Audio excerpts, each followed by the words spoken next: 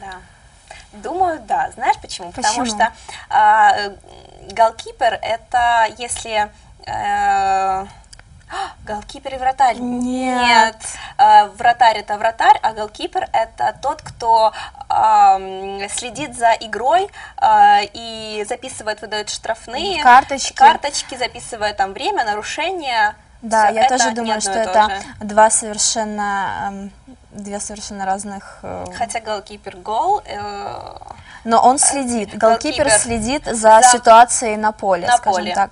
А, собственно, вратарь это вратарь, да, защищает ворота от э, Ну, от э, нападения. от нападения, да, да. грубо говоря, это так и есть.